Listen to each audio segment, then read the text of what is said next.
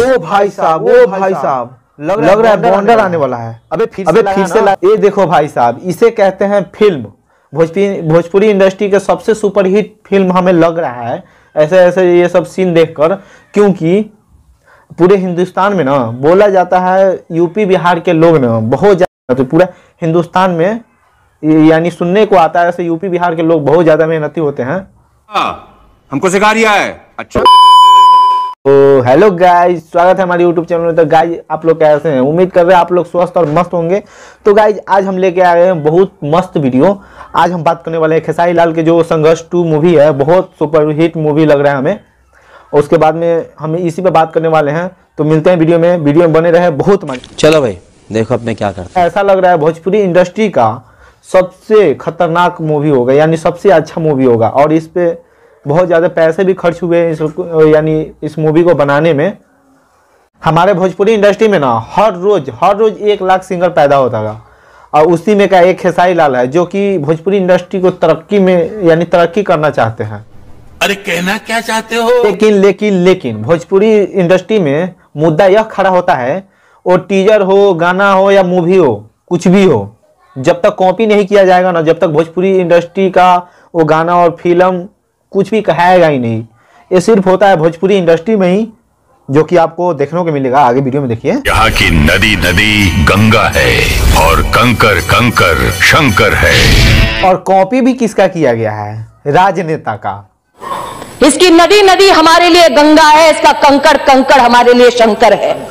ये डायलॉग राजनेता द्वारा 2007 में ही लगभग बोली गई हुई थी और जिसे खेसारी लाल यादव कॉपी भी कर रहे हैं इस अपने मूवी में। हम जिएँगे तो भारत के लिए और मरेंगे तो भारत के लिए। एक और डायलॉग सामने आता है जो कि देश के बारे में चर्चा किया गया है। और टीजर में तो आपको साफ़ नज़र यानी आता ही होगा देश के बारे में जब चर्चा किया गया है तो भाई इसमें दिखाया क्यों नहीं गया है? और मूवी का तो पता नहीं, मूवी में कहीं दिखा सकता है, लेकिन इस टीजर में दिखाना चाहिए ना, जबकि डायलॉग बोल चुके हो भाई इस टीजर में तो कम से कम वो भी देश के बारे में दिखाना चाहिए थोड़ी सी भी। तब ना कहते से हाँ देश के बारे में कुछ मूवी है। यह सीन देखकर ना हमें साउथ के मूवी का याद आ रहा है, जो कि बेहतरीन ढंग से ऐसे ऐसे सीन बनाए जाते हैं साउथ के मूवी में, और बहुत फ़ेमस भी होता है। वैसे ही हमारे भोजपुरी इंडस्ट्री में भी खेसारी लाल का जो मूवी है संघर्ष टू उसमें भी देखा जा रहा है। लग रहा है हमारे भोजपुरी इंडस्ट्री कुछ ना कुछ तरक्की पे तो जा ही रहा है। चल झूठा। लोग को दिखाना चाहते हैं एक बड़ी खबर। साले का खोपड़ी तोड़ खोपड़ी तोड़ साले का जो कि अपने आप से बोला गया या अपनी यानी अपने आप से बनाया हुआ डायलॉग जो कि खेसारी लाल बोले हुए हैं। सुनिए एक बारी से। दिल थाम के बैठो चाहने वालों। पिक्चर अभी बाकी है।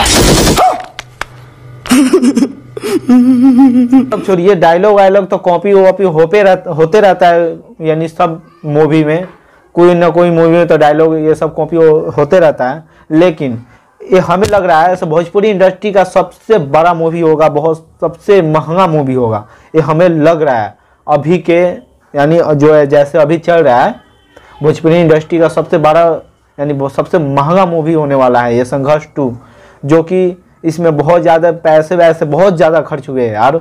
और इसमें हेलीकॉप्टर से लेकर उसके बाद में जहाज़ों का प्रयोग किया गया है, इसमें बहुत से अलग अलग सीन लिया गया है, जो कि भोजपुरी इंडस्ट्री में कभी देखने के लिए नहीं मिला हुआ था।